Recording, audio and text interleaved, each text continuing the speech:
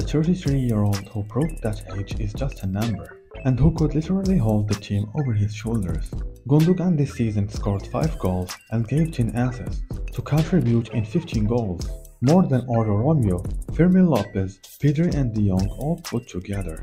He also has the best key passes record among our players, with 78 key passes in 28 games in La Liga. Furthermore, his dribbling skills are among the best at the team, with a success rate of 64%. Moreover, it seems that the German midfielder has brought a great passion, a winning mentality, and a lot of experience into the team. When Pep Guardiola was once asked who is the player that he thinks would be a very good coach in the future, he undoubtedly said Gundogan because of so many things, such as his leadership skills, his communicational skills, and his understanding of the game.